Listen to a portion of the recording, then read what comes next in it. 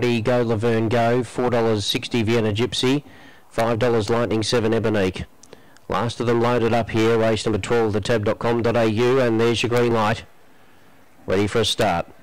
Set. Racing, go Laverne, go on the inside out pretty well. Vienna Gypsy got away swiftly and right down the outside. Lightning 7 with a powerful run. Then Bees on fire a few put out of the race basically here. Lightning 7 got to the lead. Gallows Best gets to second and a long way back in third. Go Laverne, go. But Lightning 7 wins a rough race by four. Gallows Best second. Third placing Ebonique. Then for the back Bees on fire from Jayanti. Well back in the field. Go Laverne, go and Vienna Gypsy. And it's 17.98 on the lucky